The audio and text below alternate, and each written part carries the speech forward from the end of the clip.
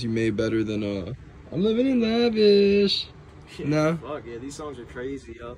Like I said, man, MixedBySmooth. Y'all in tri-state area, pull the fuck up to Smooth Studios. How do you feel about your session that you just had here? Fucking Tell let them know you just fin- finished up. Tell Just them. getting finished up here.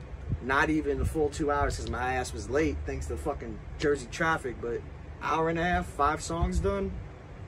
Can't beat it. Album. He thinks he's that nigga now. I'm him. I'm Eddie fucking Clutch. For real though, nah. I appreciate you, Smooth.